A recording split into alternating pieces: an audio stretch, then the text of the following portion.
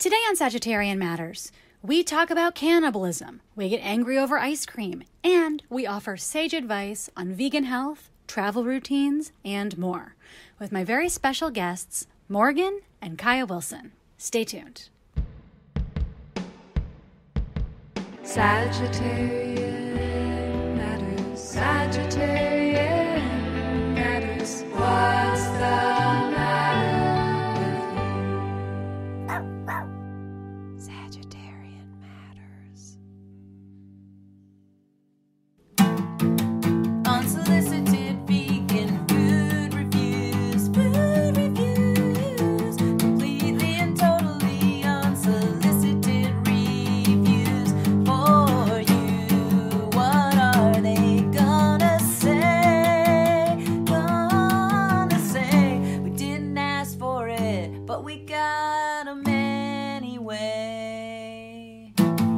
Uh, good morning. This is Dawn Riddle here with another unsolicited food review.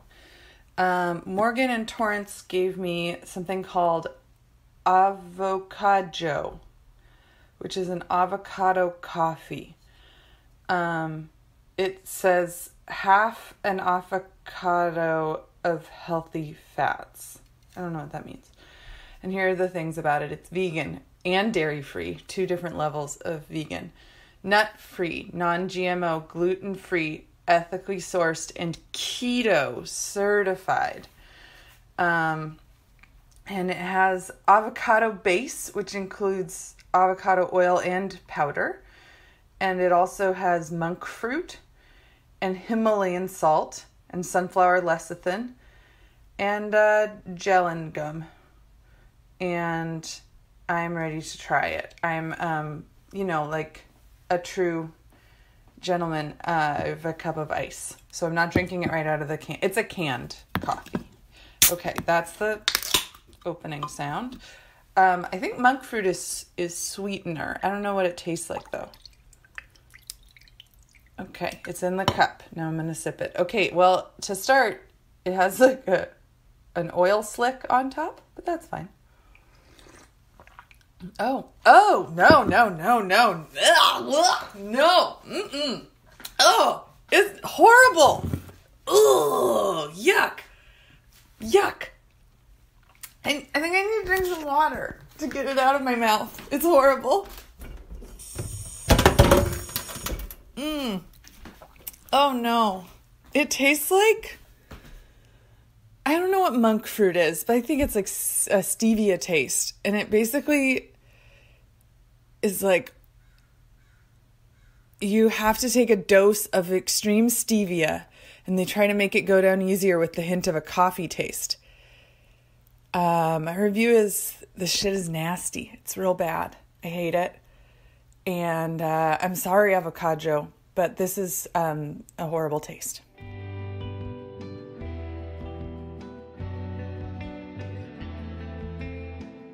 Hello from the Sagittarian Matters Social Distancing Studios in Florence, Oregon. Listeners, I'm so excited this week to bring you a show that is full of advice questions, full of vegan food, and includes two very special guests, Morgan and Kaia Wilson. Kaia Wilson, also known as Spouse to the Show, is a musician and a positive reinforcement dog trainer in Portland, Oregon. She's played guitar in the band Team Dresch since 1993 and has been working professionally with dogs since 2012. You can find Kaia on Instagram at dogspeedtraining or on the World Wide Web at dogspeed.dog. Kaia joined me today to taste test ice cream, vegan chocolates, and to give advice on finding home wherever you are. Morgan is a frequent contributor and a very special friend to Sagittarian Matters. She's the former purveyor of Dovetail Bakery. She loves dry, crunchy foods more than anyone I know, and she joined me this week via Zoom to give vegan medical advice to a listener. Now, please enjoy my talks with Kaia Wilson and Morgan.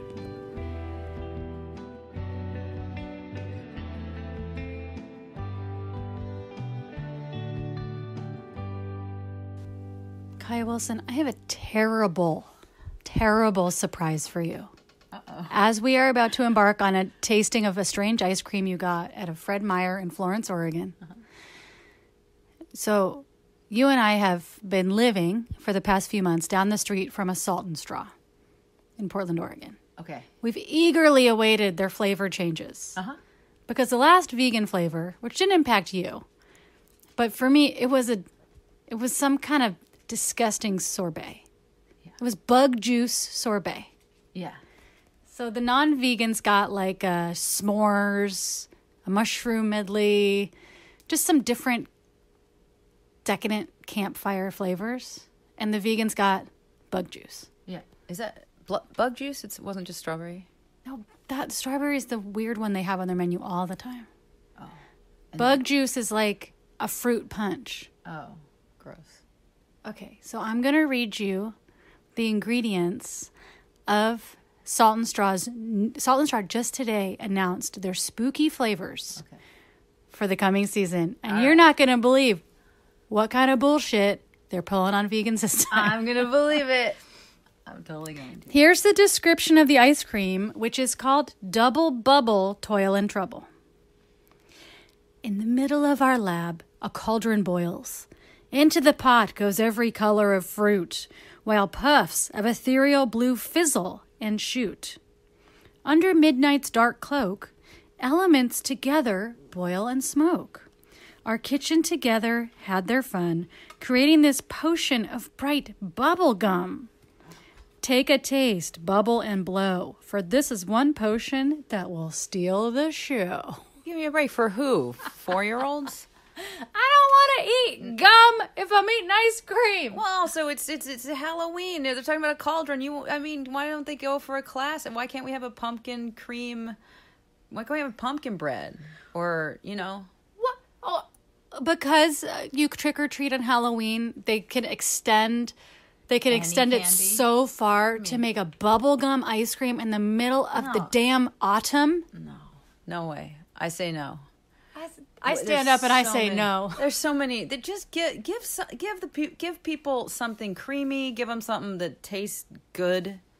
I want to just not for a you know no offense four year olds out there listening to the show, but uh-huh. not really for a four year. I mean that's a four year old's. This is a vegan. I want. That's for a four year old man. I'm fucking 40. Okay. Here's what's in it coconut cream, sugar, bubble gum. I don't want that. What do you mean actual bubble gum? Actual bubble gum, banana puree. You know, I'm not against that. You know we're gonna try this though. Pineapple juice to concentrate. I am against that. Natural blue color from spirulina. I'm into that. Mm. Natural clear vanilla extract, vanilla extract, pear extract. cin- Just give me a break. I don't know. We're gonna try it though. That's the thing. It you know Oh, I'm absolutely gonna try it, and I just I'm gonna say, give me a break, salt and straw. I do too. I mean, they just give give if you're gonna do that, just give something that's just like a nice basic like pumpkin, like a pumpkin. Give a pumpkin latte, a pumpkin bread, a um. What else do we like? I mean- popcorn. you could do like a popcorn. uh, I, what are those things? The popcorn balls. What are those? That you just smash them together with like caramel. Yeah, Rice anything, Krispie- I don't D- care. anything. Come on. Something just something that just basic that tastes tastes good and creamy, like what you want when you say I want ice cream. It's you know. I don't want to chew gum. I'm eating ice cream. I'm gonna choke on that gum like a dog. My, my my my main thing is more more more flavor options for vegans. Like find do so, do a vegan version of the what they have that is a good ice cream. I think a solid ice cream is their salted ribbon vanilla thing. Yeah. Just do the vegan version and have it always there. Give something that's always just delightful to most people. Instead of the, the freckled mints, who cares about that? The Sorbet strawberry sherbet. I oh, just sherbet. all right. Let's try. it. What do you have here? Oh. This is by the makers of Kind Bars, Yeah, I who apparently have a real close friendship with Fred Meyer and Co. Okay, what is this? This is a this is a, a dark chocolate peanut butter plant based cream. I you know my I eyed it because I do love a peanut butter chocolate ice cream. And I eyed it not knowing it was plant based and got pretty excited then when I saw plant based there. Well, we're seeing the Kind Bar logo. We're seeing some swirls. It looks very Mm-hmm. standard. Let's crack this open. You don't want me to talk about what's in it yet. Let's crack it open and then we'll take a look here. Classy. It's a classy foil. Kaia Wilson, you have just opened up the Kind Frozen. What do you see on the inside? You know, I see a what what what looks un, like uh, chocolate peanut butter. You know, it's got a kind of consistency there that I guess is peanut buttery. Um, yeah, I smelled it already. I'm gonna say it smells like a Clif Bar. Smells like a Clif Bar. Can you tell me what the first ingredient is, please? It smells a lot like a Clif, like a creepily like a Clif Bar. Okay, the first uh, pear pear juice, everybody's No. favorite, everybody's favorite from concentrate, and then water. Everybody's favorite ice cream is usually pear, pear, wa- and water, and then we got some peanuts. Yeah, do you want me to keep going? If there's any anything that sticks out to you. Uh, I mean, there's chicory. You know, chicory root. That's a that's a fan. No, that's not a fan favorite. That's a favorite of many a, Yeah. A, vegan delight. All right, Um, let's, let's get into this. Yeah, nothing, nothing. There's a bunch of gum. A lot of gum out there for the gum phobic out there. Now, are we talking? What's the sweetener? We just have sugar. This almost seems like it could be a corn syrup joint. Sugar. Hmm. And tapioca syrup. Hmm. I have some too. Yeah, it it's un it's unfortunate. It tastes like a a frozen clif bar that got Oh, man. blended. Like you blended it and put pear juice in it and then you you blend a bunch of clif bar peanut butter chocolate c- clif bars and then you put pear juice in there and then you freeze it and that's this. You know, like how Clif Bar's peanut butter has that particular, almost rancid flavor to it? Yeah. Like that elderly, super overprocessed peanut butter flavor. Like the sugariness of a Clif Bar feels unholy. Yeah. That's Oh, and yeah. that's from pear, and that's happening here. Oh, This really? is it is from pear. well, I don't know. Oh. That's what I'm getting. This is sad. This Uh, this is okay. like being vegan in the '90s, but worse. Also, look how rad it looks on the outside. It, looks- looks, like a it- delightful, just a swirl, beautiful swirls of peanut butter with nice dark chocolate. What's it look on the inside? it. It looks like A Clif Bar that got blended with pear juice and then frozen. I'm gonna stick with that. looks. I'm still eating it for some reason, but um, because I I really like ice cream. okay, but if you had to choose, thumbs up, thumbs down. No, yeah, this is thumbs down in the plant based world of that I've had. Thumbs down to kind frozen dark chocolate plant butter based. Yeah. I'm not sure why they didn't just go for a classic like a oat milk or almond, some sort of nut What the hell is the matter with them? instead of pear juice. I don't really understand. I feel so angry today about ice cream. Yeah. Yeah, fuck this. Oh fuck! Fuck this ice cream. Fuck this shit. What is I mean, and now there's some kind of angry machine coming around in the back of the audio, coming Oh, to yeah, mow them down. yeah, yeah, I don't know. I'm well, give it a shot. All right. Well, Kaia, thanks for bringing something fun to the Sagittarian Matters social distancing studio here in Florence, Oregon. My pleasure.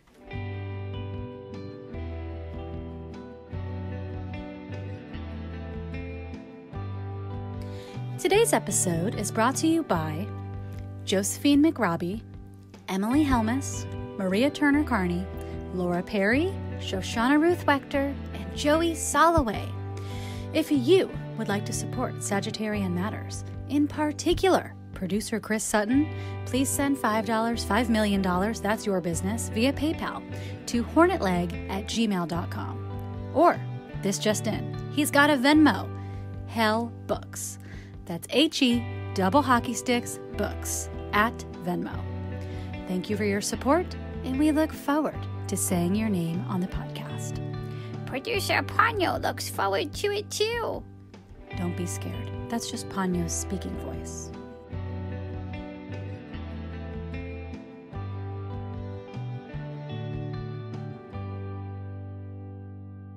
Okay, here is my vegan question for you. For most of my life, I have been vegan.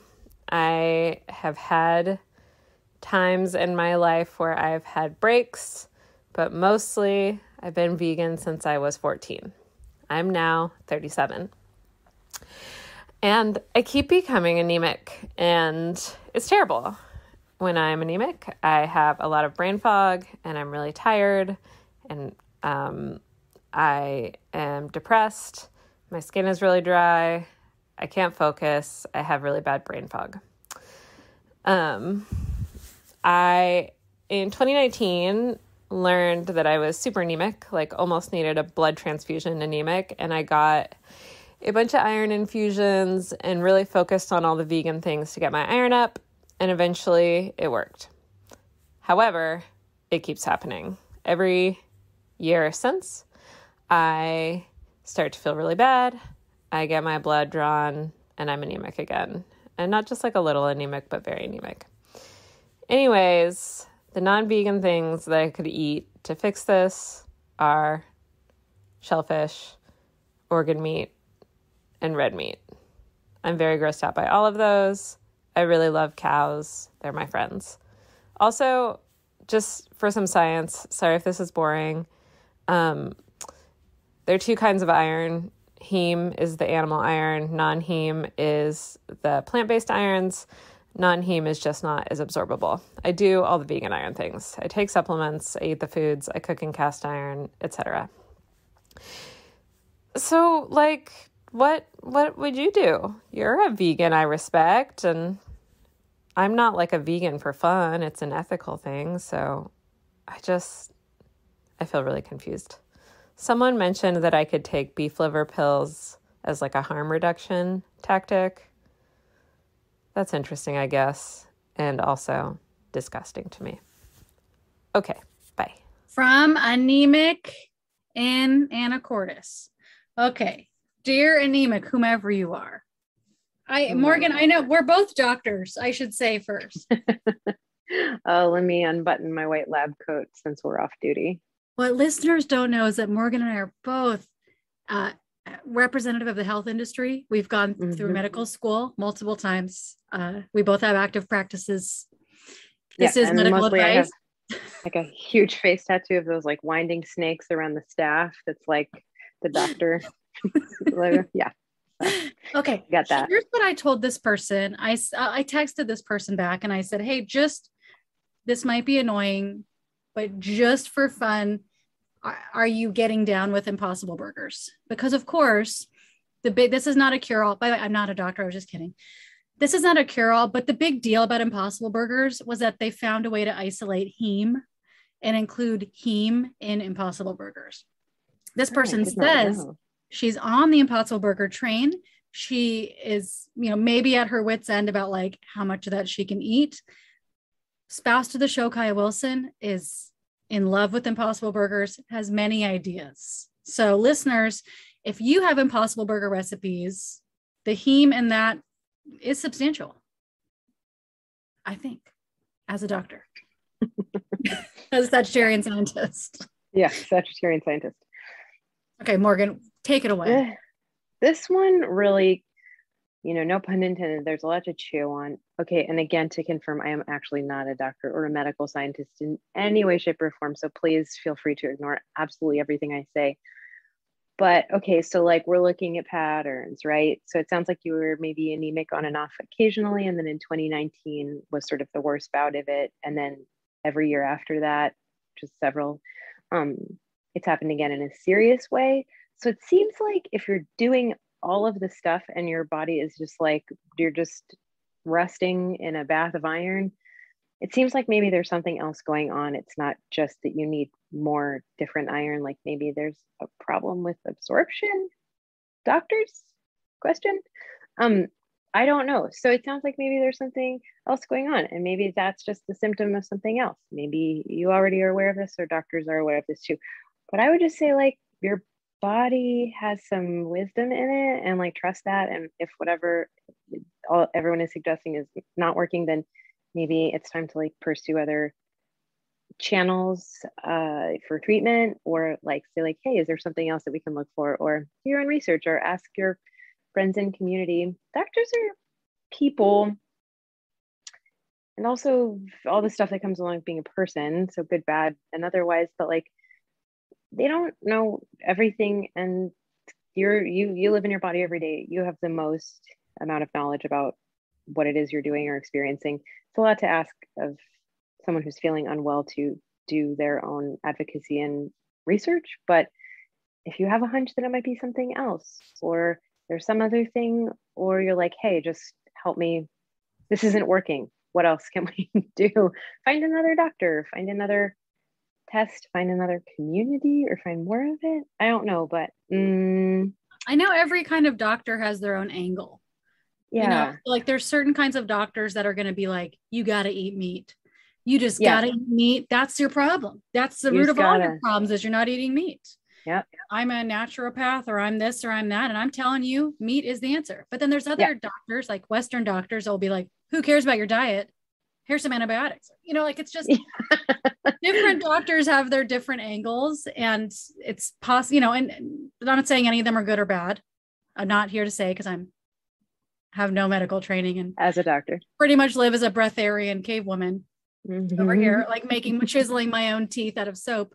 But um try I would I would I with what's Morgan said in mind, I would try a different kind of doctor that is like so much less fun than anything you've ever dreamed of doing. I know everyone in Portland will tell you acupuncture is the cure for every single thing, no matter what, no matter what you ask community about, they'll be like, Have you tried acupuncture?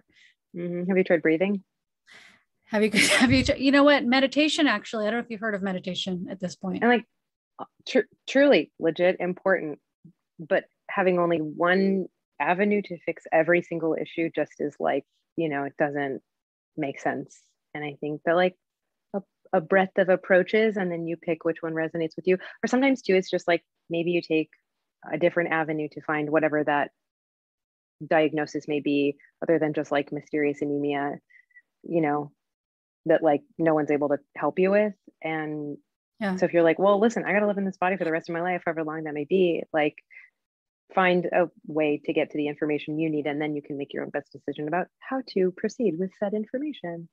All that said, you know, so like this is the vegan advice. This is this person saying, You're a vegan that I trust. What would you do? So the 1st thing I would do, I mean, I would try to find every everything I could that was not doing, that was not choosing a cow over me. Mhm. Uh that's just what I would try to do because it just feels like sad. It feels sad. But you also got to do what you got to fucking do. You know, Mhm. we have a friend who had to get a kidney transplant at like age 30 or 31. And she was like, you know what? I have dedicated my life to veganism. I don't, I'm sure that the medicines they're giving me in the damn hospital have been tested on animals. I'm sure there's gelatin in these capsules. Like I'm like laid up, just getting stabbed and poked with these things. And this is, this is it. I mean, this is all I need to be alive. I prefer to be Mhm. alive. And this is what's happening right now. So, you know, so then it becomes like a gross would you rather scenario where we're like, would you rather, Morgan, eat shellfish, organ meats, or what was that? Or uh, I don't know. I can think of a lot of would bloody- you rather's that you. I mean, the, or would you rather meal- chew on iron shavings? here's my question Could you get someone's human placenta pills? Hey, this show has really- never shied away from cannibalism. Whoa! not not from the beginning, not now. Can you get human placenta pills? I think you can, and those are very rich in iron. I am not kidding you. Wow. Not kidding. Yeah. You just do what you got to do. Um, I was gonna say something. Well, it was. You could hide it in the Impossible Burger like a pill pocket. get a greenie. Yeah. Just stick it in there. Go, go fetch. Put in a peanut butter Kong and work your way out. Well, I was just gonna say, like, listen, we're all old enough that like we gotta make some like nuanced ethical decisions, and sometimes that means whatever, you know, like there's just no such thing as getting to make your perfect decision all the time. I'm not saying you have to eat beef liver pills. I'm just saying like maybe you go to a doctor that's like not your number one choice because they have some testing or information that will get you to the next point where you can make an ethical decision. Or maybe you do one thing once a year that like gives you enough boost that you can do all of your other stuff for the rest of the year that feels like really right on with your own ethics and values. Like there are no, you know, like it's not binary, you guys. You ever heard just smash the system, just binary is 20, it's the past. But like, you know, you you gotta do what you gotta do. Nicole's volunteering her placenta. It's also just for today, you know, like it could be that like you have to do something right now, and that's just a bridge until you get more information about what happens next in your medical journey. So mm-hmm. it could be, and I know that this this author, this question asker, has had to do this before with eggs or different things. They actually, I if this is the person I'm thinking of, they got on an ex-vegans website that existed where somebody called them out for eating eggs, which is like incredibly strange use of time. Is like building a website and be like, you said she ate what? A Twix bar? She's going on there. Um, But uh, you know, this is just this could be just temporary. This is, you know, you could be like, I'm eating popcorn shrimp this week. that's what I have to do. I mean, popcorn shrimp this week with a placenta chaser. And uh, you know what? But next week I go to XYZ doctor and I'll have more information and there might be something different that happens or that gets diagnosed. And this doesn't have to be forever. You don't have to eat popcorn shrimp every day for the rest of your life. And you know what? You heard it May-. Donate some money to some animal sanctuaries if you end up having to do something that makes you feel compromised. You know, Yeah. I, I had to buy, I didn't have to. I mean, I've, this is like we get into the pet food dilemma. Morgan, I know you have to go, but like my, my dog had kidney failure at some point and I chose to make her food because the science diet food was so much worse. So gnarly. ethically. Exact- And so I had to like go to the meat counter and be like, hello, I'm Nicole Georges and I'm here to buy some meat. And it Mhm. felt horrible. I felt like I was killing my own heart. But then it was like, there was my dog and what was my choice? Right, exactly. Also, we're feeding our, I feed my cat meat every day. It's like the deal that we have made, we've domesticated.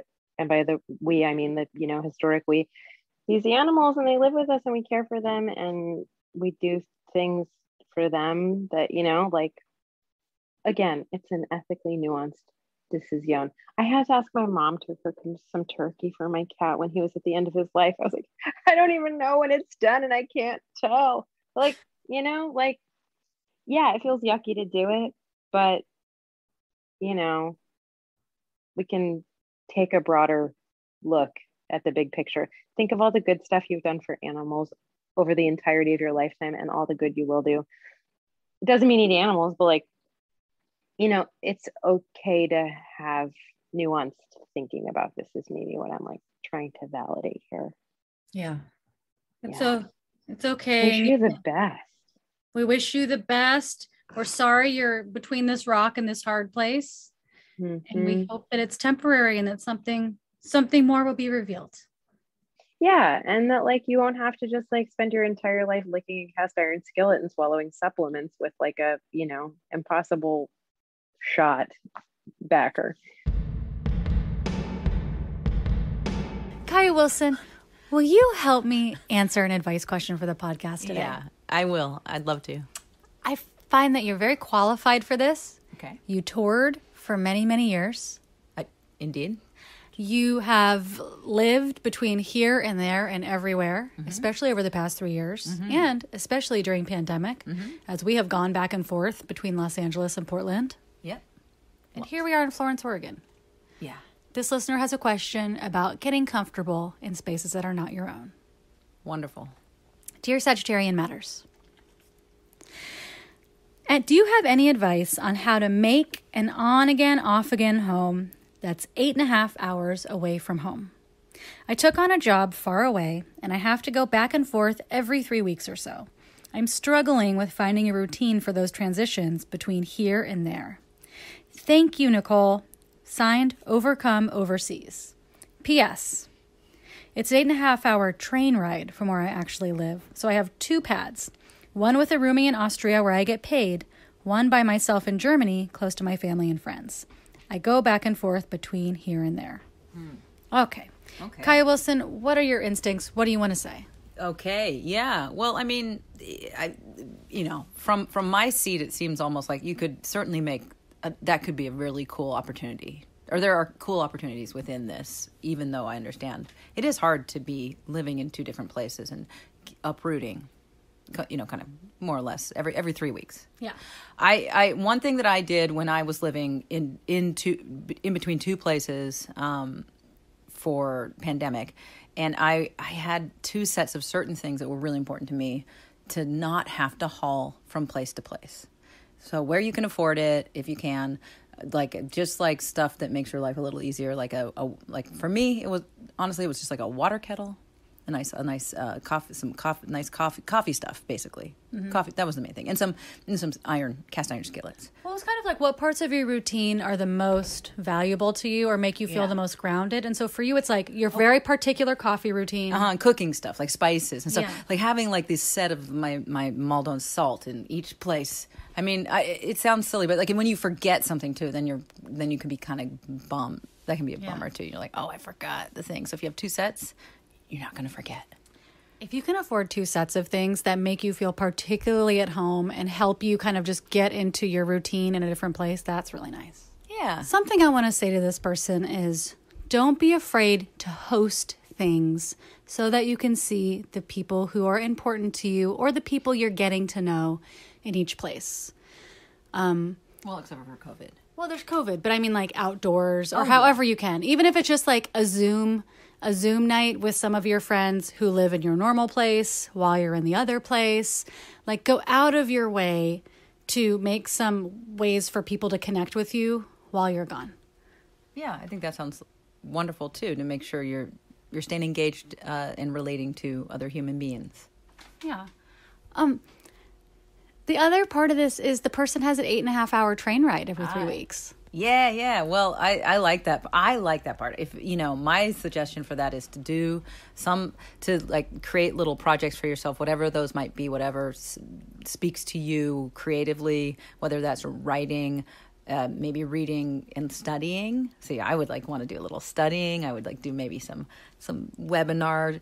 Can you do webinars on trains? I would do um, I would do sketching, w- which is super meditative and very you know, as you know, a, a nice passage of time. Plus, you are making you could make something every train ride. Just take a couple hours of that long train ride, or an hour, and then do do a pro- little project, and and that'd be my This is my here's my suggestion for the project. Because we actually started this advice yesterday when we really got to think about it. Mm-hmm. If I was this person's comics teacher or just their advisor who they're asking, I would say, and I don't care what your I don't care what your level of cartooning is, I don't care what your level of writing is. I don't care.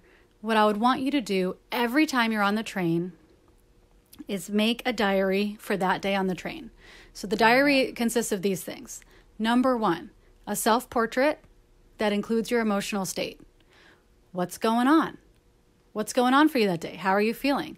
To the best of your ability, it doesn't have to look like anything. Draw yourself, give yourself a timer, four minutes, and reflect your emotional state.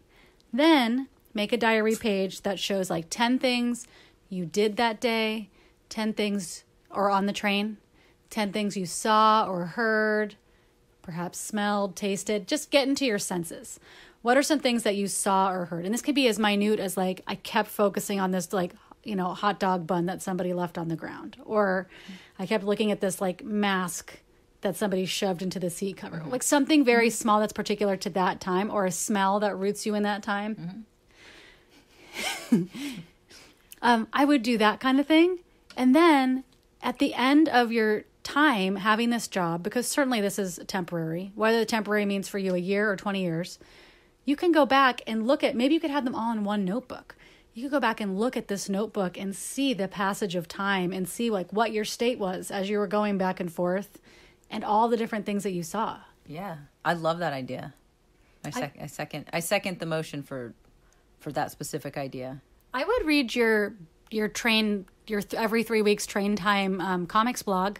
Oh yeah. If you made diary comic every time you went on this train ride every three weeks and you put it up on some kind of blog or your Instagram, I would love to read that from somebody over the course of a year. Yeah, and I just think you know more to me more so for for yourself to just have this collection of something that you created in this time that you have that you just you have no choice. You had, you're on that train, so just and then at some points you'll be able to look back on that also and be like, wow, that this is what was going on. This is what I or like if you're doing what what I learned, what I what I created. Like if you're doing Duolingo and you start a new language from zero, Yeah. just think about the words that you can write in your comic or like in your diary from the first day and just imagine yourself in six months, Yeah, what words you're going to know. And you know, yeah, and then and then I would say, if sometime you want to take a break, or you don't feel like it, or you just want to sleep, or you just want to watch uh, movies or whatever, just you know, do whatever you act what what feeds you in that moment. But this could be a fun thing to look forward to. That is a goal for the the um, commute, the Yeah. long commute. So the commute doesn't just feel like nothingness, like more time out of your space. Right. Yeah. I know that we have a friend, Tara Jane O'Neil, who's a musician who moves around a lot, has moved around a lot, has toured a lot, and had some kind of little packet of items where she could set up essentially an altar wherever she went. So just like a packet of items that, you know, includes I don't know if it's like seashells, photographs, knickknacks, wherever she puts them, that can feel like home just during that time. Yeah. And I personally, as you know, have traveled today with my houseplants. Oh yeah, fantastic. We are at a cabin at the coast. I brought my houseplants. yeah, It feels cool. it does feel cool. It feels like you. It's like a pet, but different, and it almost, you know, maybe there's a house plant you could bring on on on that would be okay. It's like a real durable, whatever, Yeah. Uh easy going, Just a really happy to travel. I mean, you said yesterday an air plant. I did say airplane. You got upset, so I'm not saying it again. But you know, you think if you just missed it, like a bromeliad, just give it give it some mist, make you know, you can keep it alive. I just have found the air plants in my life upsetting because I've basically watched them suffer in many different locations as I've traveled around with them. Whereas, like my oxalis that's 20 years old, I get happy seeing my plant thrive every place we go. Whereas the, the air plant was kind of the inverse of that. But that's just because it's small, and if you don't care for it, it will, it'll die. I just Or don't it'll- know. It'll wither. I just don't know how, and I don't care to find out. Well, I, that's great, but maybe maybe this person would like to have a small companion, which would be an air plant. Oh my God, can I tell you something that's going to maybe horrify you or make you think we're soulmates? Cool, yeah. When I was in sixth grade, I brought my gerbil to school with me. Okay. I brought it in a tiny travel cage that I had. Yeah. And I brought I put it in my locker all day. Oh. It was a fine. Yeah. I mean, I brought it to I brought it to school. I wasn't supposed to bring it to school. Oh, okay, you're like uh, Jerri Blank bringing Shelly, Mm-hmm, the the turtle, sticking her in a locker all day. Yeah. I'm not saying bring your gerbil with you, but No, I mean, well, I, no, you could, you could, you could absolutely travel. No, and yeah, would I do it again? No. Was I uh, if I could live a mm-hmm. Ralph S. Mouse fantasy where the gerbil was in my pocket and having a good time? Maybe. would I don't know that the gerbil would have been more happy in your pocket, but yeah, enrichment's great for all animals. So if you do travel with a small rodent a devil or a turtle, you know, treat it well. Figure out how how to make. Yeah, that's a cool idea though. I like this idea. What? I want to get a rat. Get a rat. they love it. They're lovely animals. Very smart. Oh yeah. Well, Kaia, thank you for your advice today to this person. Maybe don't get a rat. I don't know. You know, just make sure you keep it safe. I'm now. Now I'm backtracking on that last piece. Well, now we're like telling people to bring animals Yeah, into scary situations I- yeah, with yeah, where they can't get away and there's limited Go back to- airflow. let's just go back to the plant. Okay, let's go back to the or not. Not even the plant. Maybe just the bundle of rocks, Yeah, a nice rocks. handkerchief that you like. Right. I would say, what if you even had a special routine you did in each place? Like for me, something that gets me in the mood to do art is I put on the same playlist every time, which includes the song 16 by Kaia Wilson. I put on a smock, and by listening to this particular soundtrack, wearing a smock and lighting one particular candle, it sets my brain to know, like, I'm here and here's what I'm here to do. Mm.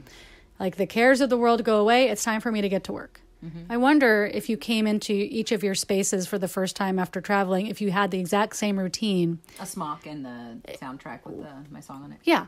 Which, Great. Uh, whatever it is, it could kind of remind your body, like, this is our home for right now. Here's what we're doing. Yeah. You're like, I'm putting on Nina Simone. I'm lighting this candle that I bring with me both places, and I'm eating this meal that is particular to this place. Oh, I like that.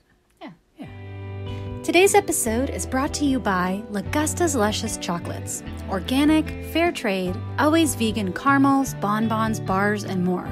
Made for you in New Paltz, New York with passion and politics. Use the code Sagittarian for 10% off your order at lagustasluscious.com. S A G I T T A R I A N. And hey, if you're feeling the Halloween spirit, try their Dead Inside chocolate skull full of vegan bonbons, or the caramel and autumn leaves box filled with apple caramels, maple pecan caramels, and delicious chocolate painted leaves with vegan maple cream. You can follow Lagusta's Luscious on Instagram at Lagusta's Luscious for secret sales and behind the scenes candy making. I personally just stabbed open the chocolate skull and it was awesome. Anyway, 10% off your order at lagustasluscious.com with the offer code Sagittarian. Kaia Wilson is currently eating a piece of the packing paper. Guess what? There's more though. There's more in oh, the box. This is is this part of it though? It looks like The the packing hmm. the packing paper? No, you can actually go further. Go further in. Go further in. what? In the world? What is this? This is too cool. Give me a break. that is the coolest thing ever. All right, hold on. Okay. What do you see? I see a big just hold this. skeletal situation, a, a- a skull. I see a really quite large and quite heavy skull uh, of a small, a small, I, I guess a baby. A baby size. Must have been a baby. Yeah. It was at one point a baby. Okay. Okay, I have a knife. Oh, it is. It's exceptional. Let's look though. I don't know if this was on purpose. It looks like you see veins. I mean, Well, I look at the molding of this. I guess we should take a picture before I. Yeah, yeah, definitely take a picture because it's teeth. very detailed. The teeth. I just want to start chewing on it. I know you do, but look at it's very detailed. Vein, veiny stuff. Like it's Eye sockets, just like Ponyo. yeah. This could be Ponyo's head. Oh wait, maybe that is. No, it's not. It's definitely not a dog, because that's, a, there's that's, the a hom- that's a homo. Okay. Safe. This is a handmade, organic, fair trade, vegan, white chocolate covered skull with a solid chocolate interior. We also have vegan marshmallows, not from Lagusta's, but we can eat with this chocolate at any time. We're just looking to fully sprint like 20 miles. Yeah. um, how do you like your chocolate? Oh, it's delicious. But I'm, I'm, I've only started on the skull, the big giant skull. You just started gnawing on the head of. I'm just learning to pick up a six inch tall. I mean, this is like a. What is this? What is this? Like the size of a a, a heart. A, li- A human- literal human heart. It's, human it's heart. actually yeah. It This looks- is- this looks like a human heart right here. Didn't we watch? We watched a long video from Caitlin Doughty about the people from Alive Uh-huh. and what really happened. This reminds me of that. Like if we were traveling with someone, they passed away. This was our only option. This is what you're feeling like. What we would, I mean, obviously we wouldn't eat, eat the skull, but we might. But you if their skull was made of chocolate, if you sure. if you were like, "Oh, Bill, I can't believe it," and, And and then you find out Bill is made of chocolate. yeah, that his bones were made of chocolate the whole time, wouldn't you be That's a little bit excited? For, fortunate, fortunate uh, person to have that particular accident with. Would you feel a little bit like that canceled out the perils of cannibalism? I mean, oh, absolutely. Like the quandaries of cannibalism? You'd be like, Well, well, Bill lived a good life until the past two weeks. yeah. guy was made of chocolate.